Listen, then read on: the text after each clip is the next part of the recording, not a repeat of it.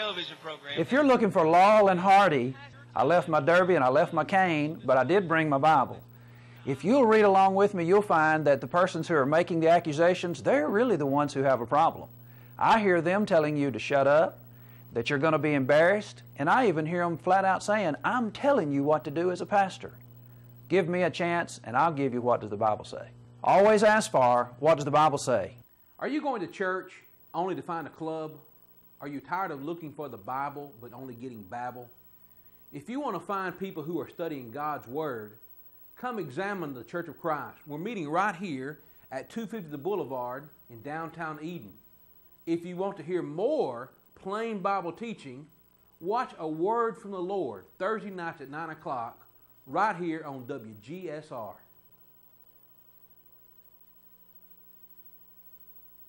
I couldn't stand Johnny at first.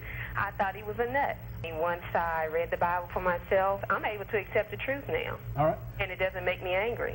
I'm talking about the Lauren Hardy show on Wednesday. Don't worry about them. Some of y'all, get off of it, would you?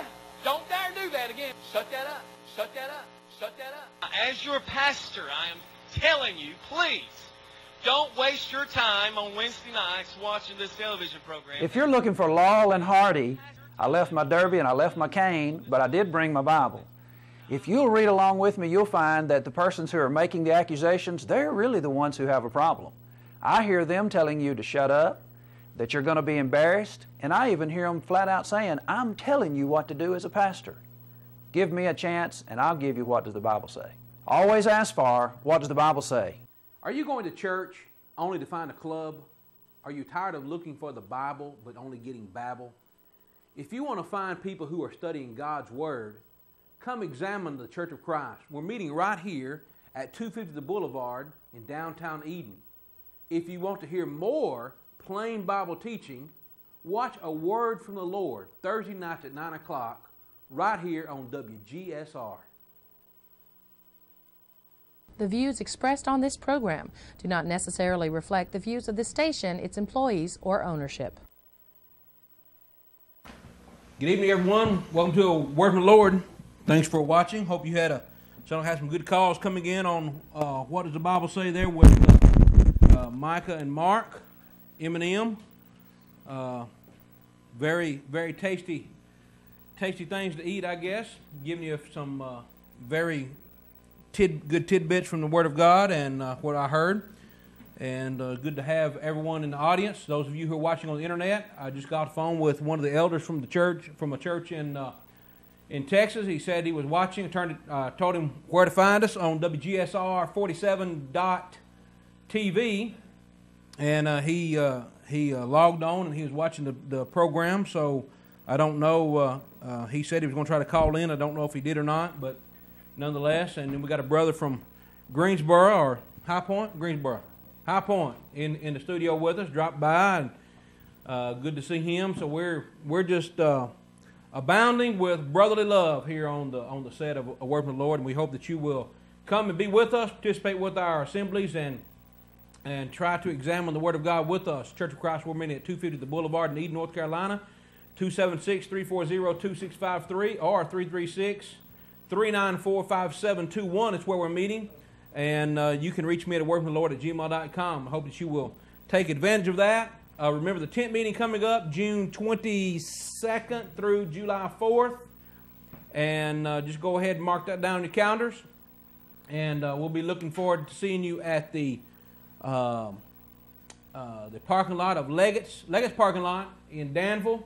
It's if you were uh, if you came out to the tent last fall, it's the same place we may even uh, be fortunate enough to drive the stakes in the same holes. That'd be nice, wouldn't it?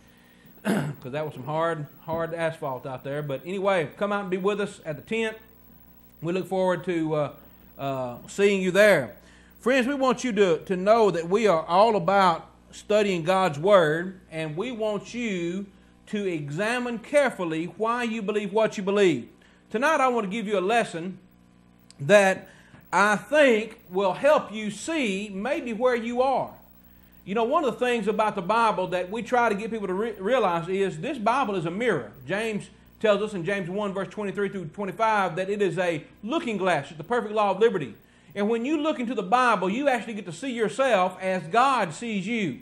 Now, you may not like everything you see, but it will definitely show you who you are. And just to demonstrate, just to demonstrate how it is, sometimes people, when they see themselves, they don't see the truth. You know, sometimes people with uh, certain kind of eating disorders, when they look in the mirror, they see someone who's fat, even though they may be thin as a rail. Other people see someone who's ugly and they think they need some kind of cosmetic surgery because they see someone who's ugly when in reality they're pretty. But when you look into the Word of God, you need to see the truth and accept it. And sometimes it is the case that just because what you see doesn't mean that's what you believe. The old saying, seeing is believing, is not always true, especially when it comes to the truth. I want to demonstrate this by telling you something from history. Aristotle, great philosopher, said uh, uh, that, or he philosophized, theorized, that heavier objects will fall faster than lighter objects. And when he said that, because he was a great, well respected uh, philosopher and, and orator, that they just they, they accepted it. No one tested it. And so it was 2,000 years before anyone ever decided that, you know what, we're going to test this theory. We're going to test this statement to see if it's really true. We've heard it's true. We've heard that heavier objects fall faster than lighter objects, and everybody accepted it as face value, but no one really came out and said, well, wait a minute. You know, we heard that. Let's just see if it's true. And so it was in the year 1589 that a fellow by the name of Galileo, he comes along and he says, I'm going to test this theory. I'm going to see if in, if in fact what Aristotle said some 2,000 years ago was indeed true. And so he took two balls, two objects, one weighed 10 pounds, one weighed one pound, and he took them up to the top of the Leaning Tower of Pisa. And he took some of the professors and the, uh, the scholars of the day, and he said, We're going to just test this theory to see if it's, if it's true or not. And so what he did, he took these two objects, 10 pound ball and a, 1 pound ball, or a 10 pound object, 1 pound object, and took them up to the top of the, the, the Leaning Tower of Pisa, and he dropped them off. And guess what happened? The heavier object hit the ground the same time as the one pound object. It wasn't, it wasn't the case that the heavier object, that the heavier object uh, falls faster than the uh, lighter object. They fell at the same rate of speed. And do you know what happened? When this happened, when it was demonstrated that, you know what, heavier objects fall the same rate as the, as the lighter objects, when it was proven that what Aristotle theorized was not true, do you know that the people who sat there and saw it with their own eyes still held on to the belief that Aristotle was right? Even though he had obviously been proven wrong, they still said, no, he's right. Now, do you see how it is? Seeing is not always believing. Because some people will look right at the truth and still say, no, that's not right. That's not right. Let me give you another example. Uh, Hippocrates talked about scur- scurvy. He, he described scurvy, which is this, this uh, uh, disease that affects the, the, the mouth, the gums, the teeth, and so forth. And he, he described this uh, during his lifetime. He lived 460 to 370 BC. So, three or four hundred years before Christ, he was describing this disease. And it was noted that individuals who were under siege, citizens of a city that were under siege, or armies that were out in the field a long time and away from fresh food, were plagued by this, by this disease. And no one really knew why it was the case, or what was causing it, or, or how to remedy it. Well, it was soon found that sailors on long voyages would actually contract this disease and would even die. Actually, it was on one particular voyage from a, a, a, a ship commander by the name of uh, Carlet, I believe was his name. He had 103 men on his ship, and 100 of them died, as or, or were at least were affected by scurvy. So 100 out of 103 were affected by scurvy. And so no one knew what it was caused. Well, in 1553, Admiral Sir Richard Hawkins noted that 10,000 men died of scurvy, but also noted that it was remedied or it was uh, uh, kind of put to a halt or even cured by individuals if they ate sour oranges or lemons on their voyages. And it seemed to cure this, this plague. No one really knew why, but for some reason, these oranges and lemons actually helped this disease of scurvy. Well, here you have individuals who are being plagued by disease, and someone has, has stumbled upon a cure. 200 years later, a man named James Lind, a British naval surgeon, he determined that scurvy could be eliminated if you simply supplied sailors or individuals who were uh, uh, deficient of, of, of a particular vitamin, if you simply supply them with lemon juice. If you just supply them with lemon juice or some kind of uh, juice, oranges or lemons, so forth, you would actually you would actually cure the cure uh, the, the the problem. And they actually started uh, uh, taking notes and writing down instances where if you if a sailor ate oranges or lemons and so forth, they actually improved, and so they started documenting it all. Anything with vitamin C would prevent scurvy. Now, this is what James Lind published in 1753. Now, you would think, you would think that someone who actually has prevented a terrible disease from running rampant through the whole naval fleet would be held up, lauded, and, and applauded, and uh, uh, given great regard. But you know what? He wasn't. And Lind was ridiculed for this belief, even though he was proving it. Even though he was demonstrating that if you'll simply eat oranges and lemons and you'll provide them with vitamin C or some lemon juice, he didn't say vitamin C, but if you provide them with lemon juice, you will actually benefit. Well, he was ridiculed. And this is what he said about the ridicule. He said, Some persons cannot be brought to believe that a disease so fatal and so dreaded can be cured or prevented by such easy means he found it astonishing that the simple things, the simple solutions, the very uh, easy things could actually be a cure. People said, no, it can't be that easy. It can't be that, can't be that simple. It has to be something great or complex. Well, that was what James Lind discovered. Do you know that in 1776, Captain James Cook was reading Lind's journals and, and noted that his advice and said, you know what, I'm going to try this. And he stocked his ships with fruits and, and uh, uh, made sure that his uh, uh sailors were given this daily supply. and the result was his sailors didn't get sick. And James Cook was honored. You know, hey, he takes care of his sailors. But you know what? The fact that he said, hey, I got this advice from from James Lind. I got this from the, the British naval surgeon that you rejected. No, they, they, they didn't have any effect on them. In, ni- in 1794, the British Navy stocked lemon juice on their ships before voyages. They realized, hey, this is an effect. This is, this is something good. This is something good. But it wasn't a requirement. It wasn't a requirement for yet another decade. In other words, the Navy didn't start saying, you will stock lemons and oranges and so forth, a supply of, of, of these citrus fruits on board in order to prevent scurvy until yet another decade later. Now look at this 1753. 1753 till 1794. 40 years later, 41 years later, they finally decided. No, I'm sorry, I'm sorry uh, 50 years later, 50 years later, they finally recognized, hey, this is the answer to all of our problems. Now, friends, the reason I say all that is because seeing is not always believing. And there's a reason why some people fight against the truth, even though it's right in front of them. Even though it's right in front of them, some people will fight against truth. Now, here's where I'm going with this, friends. I think you probably know. We from the Church of Christ are trying to tell you the plain truth. We don't add to this book. We don't have catechisms and creed books and manuals. We don't have confessions of faith and we don't have all these conventions that we go to. We don't look at the Pope and say, well, Pope, give us something uh, from, the, from the throne that we can uh, uh, use as God's law. We simply say, this is God's book. The Bible is right. Let's go to it and find out what the truth is.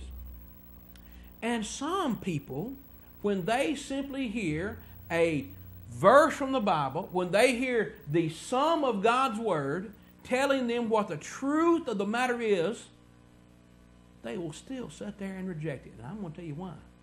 There's a number of reasons why people simply reject the truth. And it may be, friends, that you find that you're in that boat. That you are in that category of individual who will sit here and look dead straight into the face, into the face of, of, the, of the mirror of life, the perfect law of liberty. You will look right into the God's Word, and you'll sit there and say, No, I won't accept it. And there's going to be some reasons why. It may be, if you're sitting there tonight on your couch in your recliner, and you're sitting there and you're saying, Well, I've heard you I've heard y'all on TV every week, James. I watch you on TV, I watch Johnny on TV, I watch Micah and Mark on TV, and I've seen y'all, I've been watching y'all for 10 years on TV. And I'm just not going to accept it. I'm going to tell you, I'm going to tell you some reasons why you won't accept it. And just see if that doesn't wake you up. See if I can't describe you in one of these ways. Here's why people reject the truth. Number one, it may be because of tradition. You know, when it comes down to traditions, people like to hang on to traditions. They just like to hold on to something that they've been doing over and over and over and over and over, and they never stop and think about why they're doing what they're doing. Look in Matthew in Mark 7. Let's see if we can pull this up here. Mark 7. we lost our signal over here on the TV. Uh, if someone can help me. Mark 7, verse 3. Uh,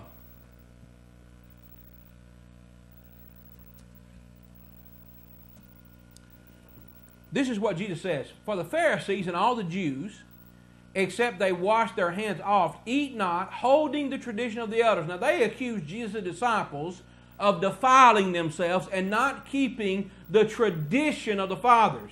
And when they came, and when they came from the market, except they wash, they eat not, and many other things there be which they have received to hold, as the washing of cups and pots and brazen vessels and of tables. Then the Pharisees and the, scri- and the scribes him, verse 5, Why walk not thy disciples according to the traditions of the elders, but eat bread with unwashed hands? Now notice, why do you not keep the traditions of the elders? You're actually eating with your hands dirty. And he answered and said unto them, Well hath Isaiah prophesied of you hypocrites, as it is written, This people honoreth me with their lips, but their heart is far from me. Howbeit, in vain they do worship me, teaching for doctrines and commandments of men. For laying aside the commandment of God, here it is, laying aside the commandment of God, ye hold the tradition of men as the washing of pots and of cup and cups, and many other such like things do ye. For he said unto them, Full well ye reject the commandment of God, that ye may keep your own tradition. Now, friends, that is exactly why many of you will not accept the truth because you would rather reject the Bible in, in order to hold to your traditions. Now, what am I talking about? Well, how about this? How about the tradition of instrumental music? You know what? That was a tradition that wasn't started in the New Testament church. That was a tradition that came from the Catholics. They're the first one that brought it in. You see, you're holding on to the traditions and you don't even know where they come from, friends. See, but this is the tradition you're holding on to. Listen to what the Bible says about traditions of men. In Colossians 2 8, Paul said, Beware lest any man spoil you. And that word spoil means to pillage and plunder. That's why all these pirate pastors out here, we call them. Pirate pastors, they're here spoiling you. They're stealing all your money. Let someone spoil you through philosophy and vain deceit after the tradition of men. Now that's where it comes from, friend. That's a tradition of men that has been has been brought into your worship, and you do it, and you do it, and you go over and you do it, and do it, do it, do it, simply because that's what you learned. You never stop to examine, hey, is this tradition an inspired tradition, or is it a man-made tradition? See, is this something I'm just doing out of habit or ritual, or is it something that I am learning from God? you know, I saw a poll on the news the other day that 44% of individuals uh, who consider themselves religious were not in the religion that they were raised in. Now, you know what that tells me? That tells me they're starting to reevaluate their traditions. Now, I think that's a good thing. And I hope that one of the reasons why individuals in this area may be reevaluating what they've always been taught is because is because they're hearing the truth and they're not going to just hold on to something that they've been taught simply because they've been taught it. As a matter of fact, and I hope he doesn't mind me saying this, I'm not going to say his name, but Tuesday I baptized a man who, who was raised in the Episcopalian church. And the, one of the things that he said as he, as he uh, was discussing obeying the gospel and leaving the Episcopalian church was he said, you know, he said it just wasn't right. Everything I saw, the more I listened, the more I learned, the more I realized that was not my tradition. That was not the right tradition. That was a man made tradition. Now, friends, you got to realize this. You can't hold on to this tradition of men. Look, if you want to hold on to tradition, you need to hold on to the tradition of God. Paul said in 1 Corinthians 11, verse 2, Now I praise you, brethren, that ye remember me in all things and keep the ordinances as I delivered them to you. These ordinances come from God. Now, what were they? Well, notice this. Notice this in uh, uh, 2 Thessalonians 2.15. 2 Thessalonians chapter 2, verse 15. Here's what Paul says. Paul says, Therefore, brethren, stand fast and hold the traditions which ye have been taught, whether by word or our epistles. If you want to hold it to a tradition, friends, why don't you make sure that it's in the Word of God? Why don't you make sure that it is an inspired apostolic tradition? That is, it's what Paul commanded, or it's what he wrote. Make sure that it's what the apostles in the first century taught by their epistles or by their words, and not by what you got from your mom and your daddy. Now, that's a tradition you can hold to. That's what you need to be holding to. That's what you need to be uh, uh, uh, holding on to. But when you hear traditions, when you hear traditions, you need to stop and say, well, why am I doing this? Why am I doing this? I wish I had at my fingertips and I'd have to, I'd have to find it, dig around. But I wish I had to play for you the gentleman who called in and said, We know denominations aren't in the Bible. We, we, they were named by our fathers. Well, hello. You just admitted it's a man made tradition, friend. Get out the Baptist church. Come out the Methodist church, the Presbyterian church. It's not in the Bible, it's not in the, in the inspired traditions. You see? What are you holding to? Why, why, why, are you, why are you holding on to traditions? Look, the Apostle Paul changed traditions. Look at this. The Apostle Paul said in Galatians 1.13 and 14, he says, For ye have heard of my conversation, my manner of life, in time past, in the Jews' religion, how that beyond measure I persecuted the church of God, and wasted it, and profited in the Jews' religion above many mine equals in mine own nation, being more exceedingly zealous of the traditions of my fathers. He wasn't zealous for God, he was zealous for his father's traditions, the things that his fathers had taught him. Why, why are you in the Baptist church? Just go ahead and ask yourself. No one's, no one's noticing you. No one's looking at you. No one's, no one's asking for you to give an answer out loud. You just sit there in your house, sit there on your couch in your recliner, and you just, you just answer yourself. Why am I in this church? Why am I in the Baptist church? Why am I in the Methodist church? Why am I in the Lutheran church? Why am I in the Holiness church? Why am I here? Why do I do what I do? Is it tradition that you got from the Bible? Or is it a tradition that you got from man? And if it's a tradition from man, why are you kicking against the truth? You know, in Acts 9, verses 4 and 5, Saul of Tarsus, who was persecuting the church of God because he was zealous for the tradition of his fathers, look what he says And actually what Jesus says to him, Acts 9 and verse 4. When Saul of Tarsus met Jesus on the road to Damascus, this is what he said. Jesus said, Saul, Saul, why persecutest thou me? And he said, Who art thou, Lord?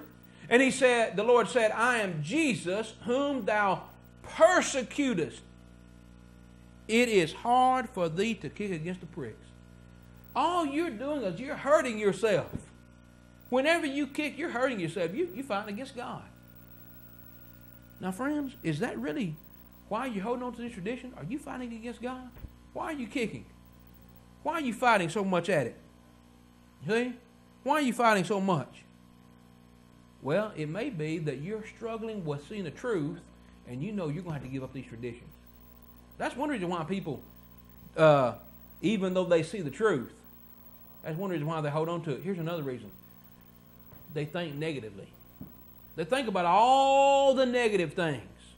They think about all the things that they're going to have to have to um, all the reasons why they don't need it or why they shouldn't take it, why they shouldn't buy it. You know, in John 8 32, 33, Jesus said, And ye shall know the truth, and the truth shall make you free. They answered him, We be Abraham's seed, and were never in bondage to any man. How sayest thou, Ye shall be made free? Why do you, and Jesus said, Why do you not understand my speech, even because you cannot hear my words? Look at what he says. He says, You shall know the truth, and the truth shall make you free. And they said, We're not in bondage. Well, they were. They were under Roman rule. They were in subjection to the Roman government as they were speaking. And then to say, We've never been in bondage. Do you not remember that God even said to Abraham in Genesis 15? He said, Your seed are going to be uh, servants in a strange land for 400 years? Do you think they had forgotten about this big stretch of time when Joseph was down into Egypt and Israel took all his brothers down to Egypt? And that's where they became the nation of Israel. They seem to have blocked that out of their history books. Sound like some people today, they want to deny history. They want to say, well, it didn't happen. Well, that's what the Jews are saying. We don't need that. We, we never been in bondage to anybody. You know why people don't obey the gospel? It's because they sit there and they say, I don't need to obey the gospel. I'm good just the way I am. I know there's somebody, I know there's a gentleman that's watching this program tonight, and I know for a fact that he said, Well, the reason why I hadn't obeyed the gospel is because I don't guess I, I really don't believe that I'm lost. Now, if you really don't believe you're lost, you're saying, Well, I don't really need Jesus. I don't need anything he, he did for me. I don't need the sacrifice on the cross. I don't need to I don't need to contact his blood. You're basically saying, hey, I'm, I'm fine where I am. I don't need this. Listen, if you don't think you need a product, you're not you're certainly not going to buy it. You know? You just try to sell a product to someone who doesn't want it. You, you, you go door to door, try to sell a product. Hey, if they don't think they need a vacuum cleaner, they're not going to buy a vacuum cleaner. If they don't, if they don't think they, they need a, a, a, a widget, or whatever you're selling, they're not going to buy it. But if you convince them they need it, they'll buy two of them. See? If you don't think you need the gospel, friends, you're not going to buy it. You're not going to. You're not going to buy into it. In Acts thirteen forty six, does that mean we're off the air? Is that just that TV? Acts fourteen, or excuse me, Acts thirteen uh, forty six. Listen to what the apostle Paul said. Paul and Barnabas waxed bold and said, It was necessary that the word of God should first have been spoken to you, but seeing you put it from you and judge yourselves unworthy of everlasting life, lo, we turn to the Gentiles. They judged themselves unworthy. They said, We don't need it. They pushed it away from them. Now, I know that's why some of you aren't obeying the gospel. Because you've got it in your mind, I don't need it. You've got in your mind you're fine just the way you are. But I tell you one thing, friends. One day, one day you're going to bust hell wide open and you're going to say, man, I sure wish I needed it. I wish I had it. I sure wish that I had obeyed the gospel. I sure wish I had come out of these man-made churches and gave them, given up these man-made traditions. You may think you don't need it now, friends, but one day's coming you're going to need the Lord. And the Lord's going to laugh at you. Proverbs chapter 1, God says, you, you, you, you scorned my, my wisdom. You put it away from me, think you didn't need it. One day I'm going to laugh at you. Your calamity comes and I'm going to laugh at you because you put it away. And you know what? There's some members of the church. There's some people who have obeyed the gospel. They've been baptized for the remission of sins. They've been added to the Lord's church. They've turned their back on the Lord. And then when the trouble comes, when the hardships come in life, you go, you go crying back to the Lord. Why do you think the Lord's going to bless you now? after you turn your back on Him? You better wake up. You think you don't need it? That's why when you see the truth, you won't accept it because you think you don't need it. Here's another reason. Here's another reason fear. Here's another reason. Proverbs 29 25. Here's what the wise man says The fear of man bringeth a snare, but whoso putteth his trust in the Lord shall be safe. Some people don't accept the truth because they have a fear.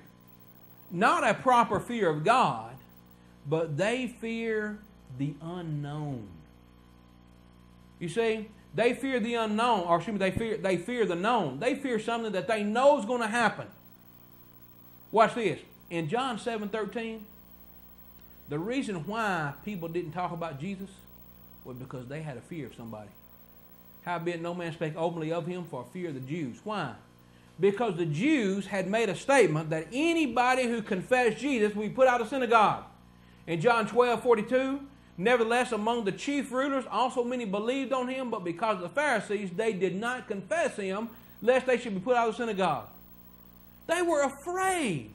They were afraid if we confess Jesus is the Messiah and we say he is the Son of God, we know what's going to happen.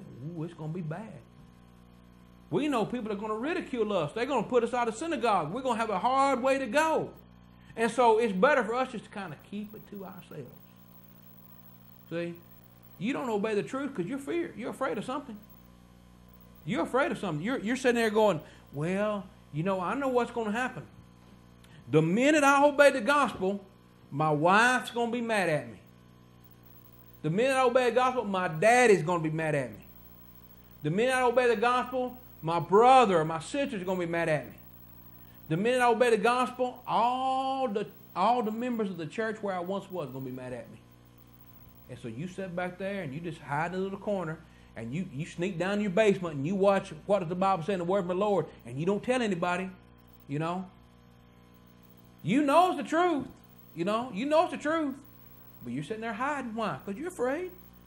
That's why people, they hear the truth, but they don't obey it. They can see the truth. Oh, I know you're seeing it, friends. I know you see the truth. But you're afraid of something. You're afraid of something.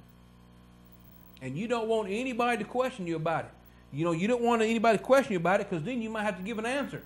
Look in John 9 13 through 41, there's an account of the, of the uh, uh, blind man and people were asking him about how he got his sight back. And listen to what they said. They brought to the Pharisees him that aforetime was blind, and it was the Sabbath day when Jesus made the clay and opened his eyes. Then again the Pharisees also asked him how he had received his sight, and he said unto him unto them, He put clay on mine eyes and washed, and I do see. Verse 16, Therefore said some of the Pharisees, This man is not of God, because he keepeth not the Sabbath day. Others said, How can a man that is a sinner do such miracles? And there was a division among them. They say unto the blind man, Again, what sayest thou of him that he hath opened thine eyes? He said, He's a prophet.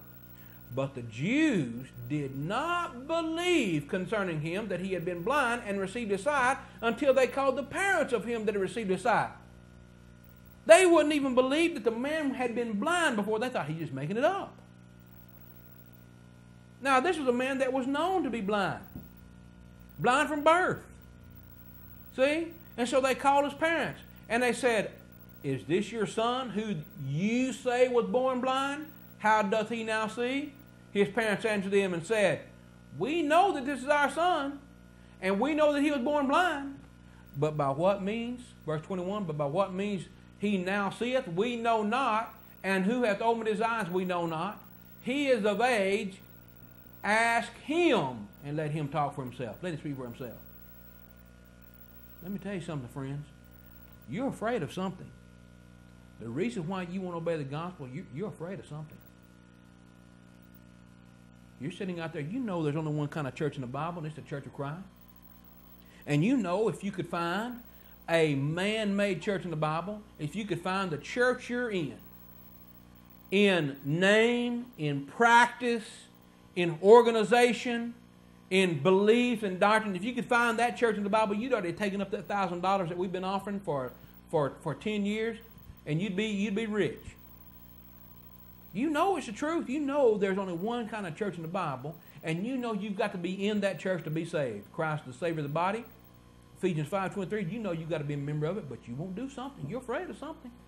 I think you're afraid of your parents. I think you're afraid of your friends. I think you're afraid of your coworkers. You ought to be afraid of God. That's what you ought to be afraid of. Now let me talk to some of these members of the church. You know what? There's some members of the church that are afraid too. They're afraid to tell people, yes, I'm in the Church of Christ, and yes, you've got to be in the Church of Christ to be saved. Everybody in the Church of Christ may not make it to heaven, but everybody that makes it to heaven is going to be in the Church of Christ. And you're afraid to say that. You're afraid to talk. You know, there's people that say, well, y'all, y'all kind of rough on TV. You know, you need to, you catch more flies with honey than you do vinegar. I'm not trying to catch flies, friends. See? I'm trying to get you to see the truth. And you're afraid. You're afraid. That's why people don't see the truth. It's because it's cause they're afraid. Here's another reason. Here's another reason why people are afraid. They're afraid of the personal investment. What's it going to cost them? In Luke 17, 24, uh, Luke 14, 27, excuse me. Luke chapter 14 and verse 27, listen to what Jesus said. Whosoever doth not bear his cross and come after me cannot be my disciple. For which of you intending to build a tower sitteth not down first and count the cost, whether he have sufficient to finish it? Lest happily, after he had laid the foundation and is not able to finish it, all that behold began to mock him, saying, verse 30, This man began to build and was not able to finish. Or what king, going to make war against another king, sitteth not down first and consulteth whether he be able to with ten thousand to meet him that cometh against him with twenty thousand? Or else, while the other is a great way off, he sendeth an ambassage and desires conditional peace. So likewise, uh, so likewise, verse 33, so likewise, whosoever he be of you that forsaketh not all that he hath, he cannot be my disciple. You know why people are afraid of the truth? Even though they can see it? They see it, it's as plain as day. And the reason why they don't accept the truth is because what's it going to do to me? How's it going to affect me? What am I going to have to give up? You know, I hear people, I've heard people say that, well, when I get my life straightened up, I'm going to come to the Lord. Friends, if you, if you can straighten your life up without coming to the Lord, you don't need the Lord. If you can, if you can get everything in your life right, then you don't need the Lord. And so what you're thinking, what you're realizing is if I come to Jesus, if I come to the Lord, I obey the gospel, then I'm going to have to start living my life in such a way that I am holy. I'm going to put away some things, see? I'm going to put away the drinking and the smoking and the drugs. I'm going to put away the gambling. And some people say, well, I just can't do it. No, you can do it. It's just you don't want to do it. See, that's what it is. So you, you're going to have to make an investment. Friends, half of knowing what you want is knowing what you must give up in order to get it. Look, we, just think for, for, for instance, we live in a pretty tough economy. And you may have some debt. You may, you may have some credit card debt. You may be trying to get out of some debt because you know the economy's tanking and you know you need to have some money to save for a rainy day. And you say, I'm going to get out of debt. Well, you know what? Half of knowing what you want is knowing what you're going to have to give up. If you want to get out of debt, it may mean you're going to have to give up cable for a little while. It may mean you're going to have to give up going out to eat pizza every week. You're going to have to give up something. See? It may mean you sell that car that you're paying $500 a month on, and you're going to get down here to get one of these, uh, you know, beaters that you're having to drive around. Maybe put a little oil in every week or so. That's paid for in order to pay off a debt. See, it's you got to give up something to get something. What you gonna give up to get it? That's the cost. And some people say, no, it costs too much. If I obey the Lord, it's going to cost me too much.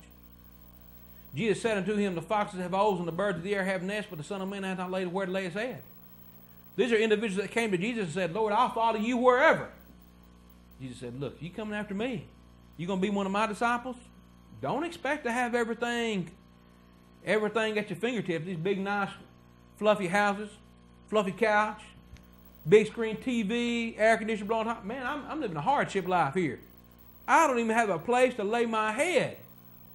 So if you're coming after me, uh, seeking wealth and fame, you, you, you, you chasing the wrong person. Another disciple said unto him, Lord, suffer me first to go and bury my father. Jesus said unto him, Follow me and let the dead bury the dead. You know what you're going to do, friends? Count the cost.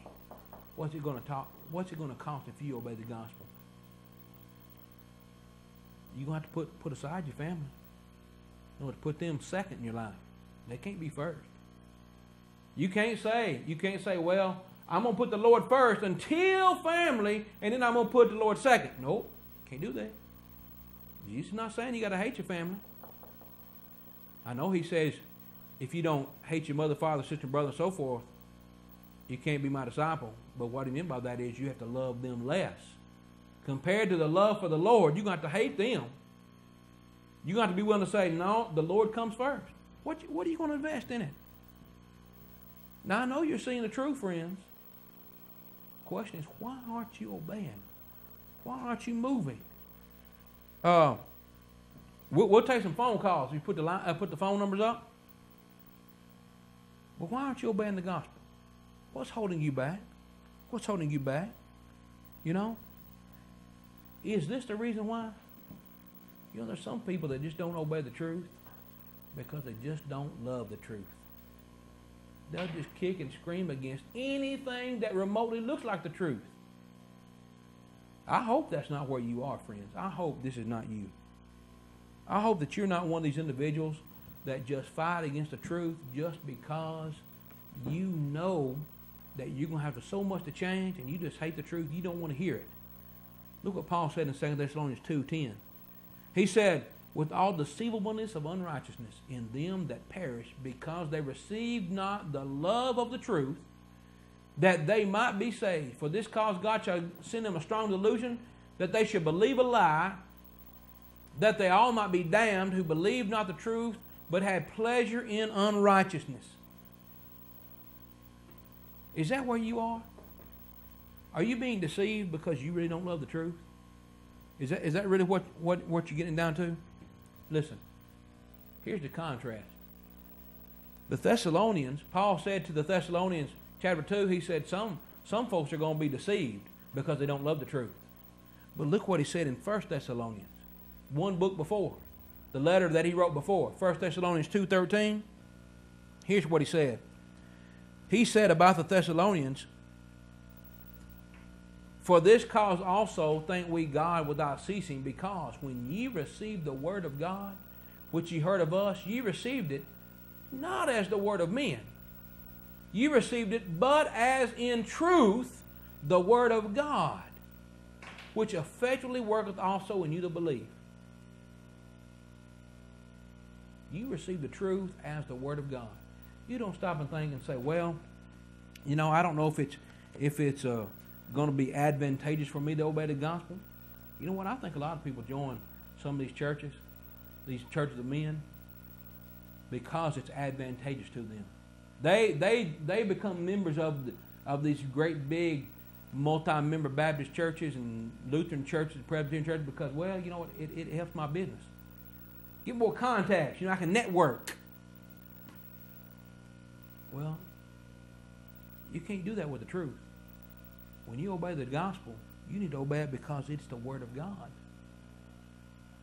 Because in truth, it's the Word of God. You're holding to it because it is the Word of God. You have to obey it because that's what you love. Look, in John 8 43, John 8 43, listen to what Jesus says. He says, Why do you not understand my speech? Even because ye cannot hear my word. Ye are of your father the devil, and the lust of your father you will do. He was a murderer from the beginning and abode not in truth, because there is no truth in him. Because he speaketh a lie, he speaketh of his own, for he is a liar and the father of it. Verse 45. And because I tell you the truth, ye believe me not. Why? They just didn't love the truth. There's no way they could deny that Jesus was telling them the truth. As a matter of fact, Nicodemus, one of their own, came to him and said, We know that our teacher come from God. No man can do these things except God be with him. That's John chapter 3.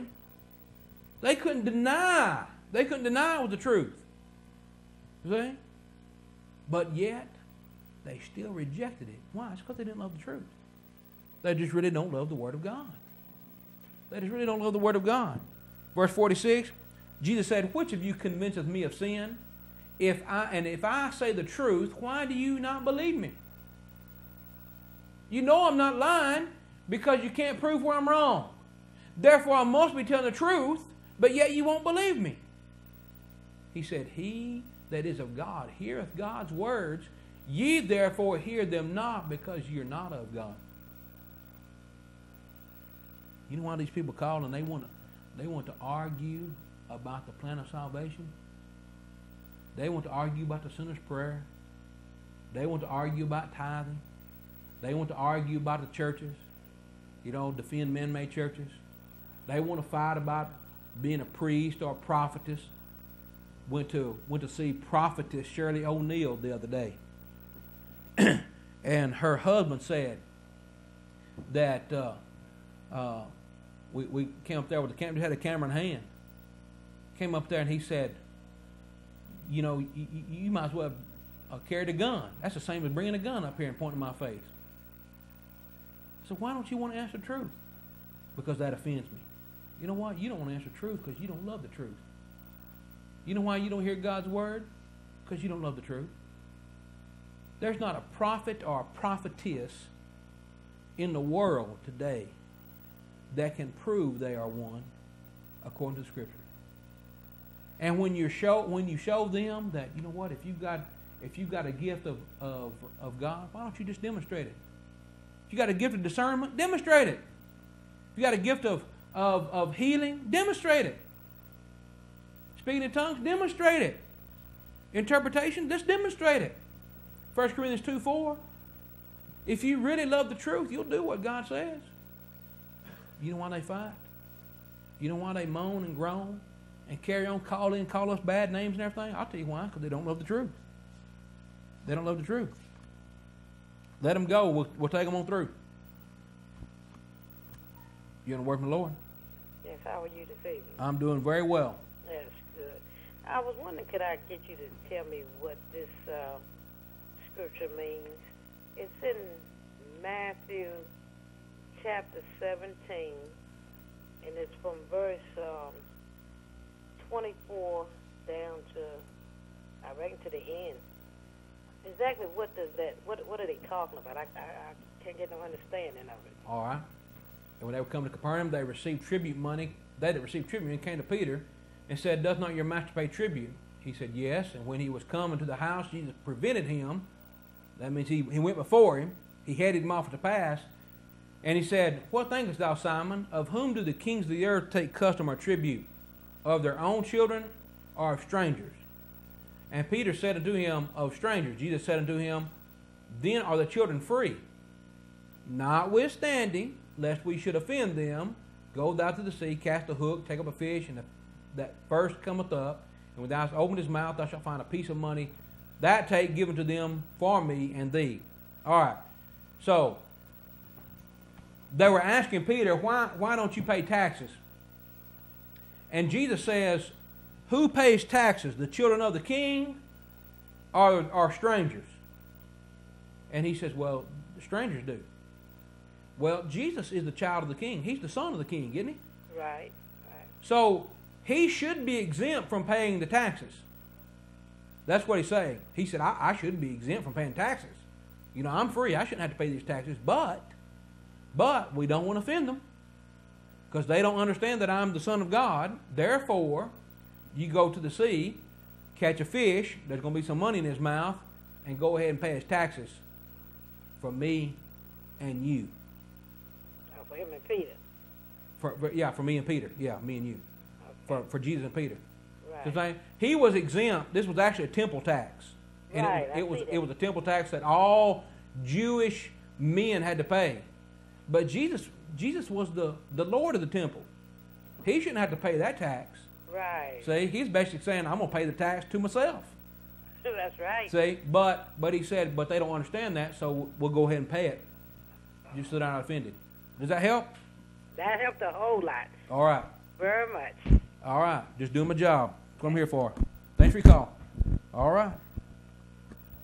You're on a word from the Lord.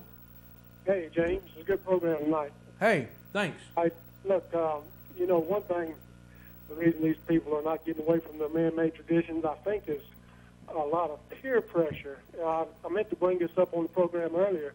Uh, we get a little ad paper in Danville called the Piedmont Shopper, and I noticed last week in that that the Soldiers of the Cross, so-called, at Brian Edwards Church, the motorcycle gang. They're having another ride, and many people were. I don't know whether they were sponsors or, or what they were, but I know there were probably a dozen or more sponsors in, listed in that paper, and one of them was the um, elect chief of police, Mike Mondale. He's running for chief of police. Now I don't know whether he's sponsoring this ride or he's going to be a participant in it or whatever, but it'd be something to to find out, you know. Um, and and how is that being, you know, separation of church and state? Is he he's trying to get both by riding with the Hell's Angels or, or what? well, it obviously it obviously shows that that religion is just a a vehicle for him.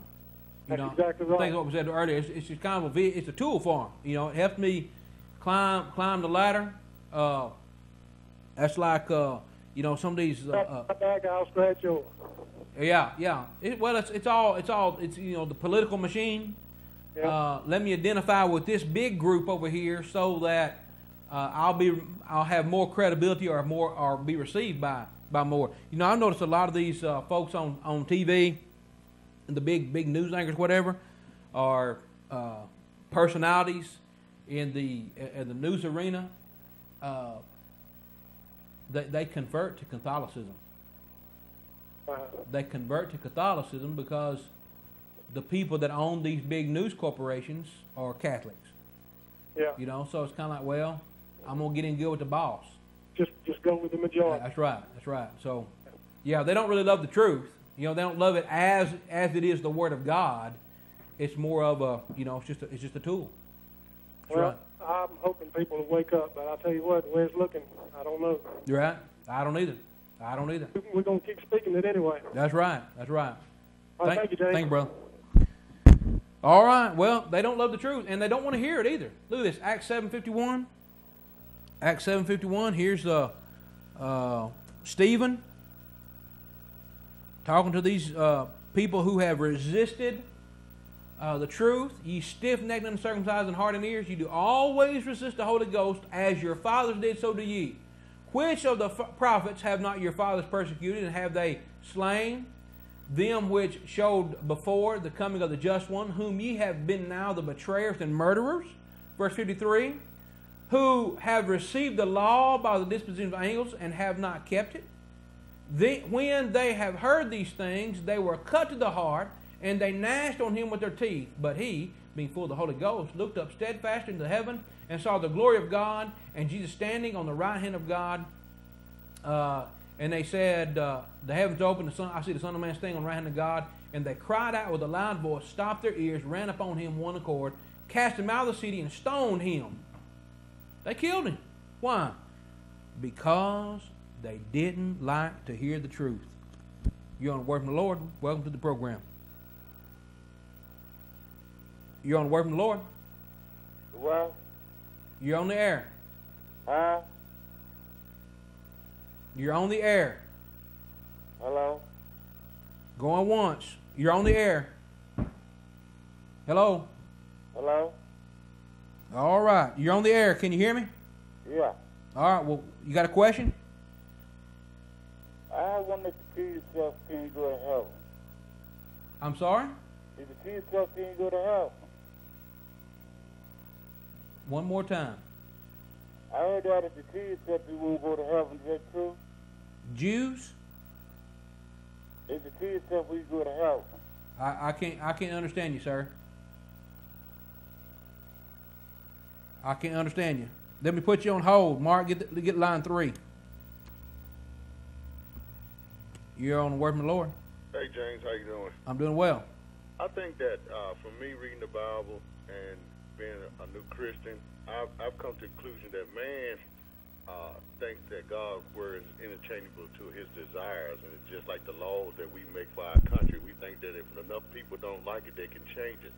But in the Bible, God says, "You knew who my word from the beginning, because I've given it to you since the beginning." In in Romans, and the same-sex marriage and everything else is just man's desires to seek his own uh, for his wickedness to suppress the word of God. It says that in the. I wrote an article today in the editorial column about same-sex marriage, and and I use Romans as my reference. And he says that I'll turn away from you and let you do what you want to do, but I won't be in it, and you'll suffer the consequences to your actions. And it goes on to tell us about how kids will be disrespectful to parents and things like that. And if anybody reads that, and then they go over to, uh, uh, I think it's Romans 12 to tells you how, how what what's expected of you as a Christian, and you'll find out the things we do are totally in uh, in, in uh, difference to what God wants of us. You know what I'm saying? But the main thing I wanted to say is that people got to understand the Bible is not like man's law. You just can't change it when you get a desire to change it. His word won't change. You know what I mean? Right. And and now, who, tell me who you are. Mike. Mike who? I come to the church over there. I, I visit y'all a couple times. In in Martinsville. Yes, sir. Okay, all right. Like I said, look at the editorial column in Martinsville Bulletin. Get a chance to read that article. Okay. It's not me that's saying that. It's just what I read through the Right. Word of God. It says you must study to be approved. So if you don't study and you take another man's word, I can lead you anywhere. That's right. Well, and here and here's another point along the same lines. Why do you think all these churches of men have come about into existence? Is it not for the same reason? We, we want to we want to make it fit what we want instead of us fitting what God wants. Right, but it's human nature to gravitate toward what makes them feel good. You know what I mean? Exactly right. Word says that's why we commit sin because it makes us feel good. And what they don't realize too is doing what God said makes you feel good too. Yeah, but I'm just saying it's, I- it's human nature. I know, I know, but I'm saying we don't we don't appreciate the the good feeling that comes from doing what God said. We want the good feeling that comes from the sin. But one thing I found out though, James, I found out though, it's, it's not that many. It, it couldn't be a Job in this day and time because as soon as you start messing with that pocketbook or that paycheck, people are run away from the truth as quick as they can, or they'll, they'll or they'll stay away from it. They won't interject themselves and stand up for what's true. You know what I mean? Right. They don't want to lose that paycheck. Right. And the churches don't want to lose no uh, tithes, so they'll accept anybody in there. Exactly. Well, that's do what they exactly right. They don't want to lose that's, tithes. You know, that's that's what we've said numerous times on this program. Like Jerry Falwell, you know, the late uh, Jerry Falwell, you know, he said we're going to have to rethink this thing on marriage and divorce because, you know, we got fifty percent divorce rate. Well, why why rethink it? Why not just stick with what the Bible says and and let everybody conform to uh, the word instead of trying to change the word. Well, only Oh. thing I'm gonna say, I'm gonna let you go, James. All right. That you, if, if you don't stick to what he says, people in the world look at it and say, "What? What's the point of me joining the church when I've got to deal with that foolishness in the church just as well as in exactly. the street?" I agree. I agree. You have a good evening. All right, thanks for calling. All right, so they don't love the truth. Well, let me let me just say this, friends. I su- I suspect that you probably see yourself in some of these scenarios. Either you're someone who's holding on tradition, or maybe you're afraid of what people are going to say or how, how they're going to treat you. Maybe maybe it is you you just going to have to give up too much. Maybe you realize, you know what, I'm going to have to make too many changes in my life. But I tell you what, friend, it's worth it. It's worth the change for the reward. Paul said it's a light affliction for the reward that awaits us. So it's just, you know, it's small, small potatoes really when it gets down to it. Conforming to God's will and giving up your own will. But I think people resist changing the truth. They resist changing even when they're shown the truth because they'll sit there and they'll say, yeah, that's right, and then sit there and do nothing. You, you, you, don't, you, you want me to prove it? I'm going to tell you right now, friends, there's one church in the Bible. It's the church of Christ. Jesus said in Matthew 16, 18, Upon this rock I'll build my church, and the gates of hell will not prevail against it. That church started in Acts 2 when Peter said to those people on the day of Pentecost, Repent and be baptized, every one of you, in the name of Jesus Christ. For the remission of sins, ye shall receive the gift of the Holy Ghost. They were added unto them, unto the church, daily, such as should be saved. Acts 2.47. That's when the church began. It was started. The church is the body of Christ. There's only one. One body, Ephesians 4 4, and it is the body of Christ that, made, that is made up of the saved. And Christ is going to save those individuals when he returns, Ephesians 5.23. And if you're in a man-made church, a church of men, you're going to be lost, my friend. You're going to have to give an account to God about why you're in a church that his son did not die for, he did not say anything about, and you expect to get to heaven for disobeying him. Now I'm telling you that, friends, and you know what? I know that you're going to sit there and resist the truth because you won't you won't come out of those churches where you're in. You're going to sit right there The devil's got such a hold on you that you, you're not going to give it up. I hope you will. I hope you will. I hope you love the truth enough. Is it important to you? Will you really accept the truth? You know? Even, even if the truth is not what you thought it was. No, you thought that, oh, I'm, I'm okay in all these, uh, in this different religion. Oh, no, no, you're not. Will you let go of it and just accept the truth? The truth will set you free. Friends, we're out of time. I appreciate you watching, appreciate the calls. Remember to watch us on WGSR 47.1, WGSR 47.tv. Remember the, te- the tent meeting going on June 22 through July 3rd. And always remember to watch What Does the Bible Say Sunday nights at 8.30, Thursday nights at 8, A Word from the Lord Thursday nights at 9.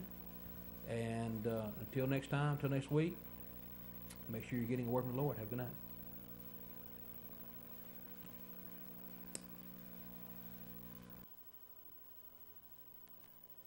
I couldn't stand Johnny at first.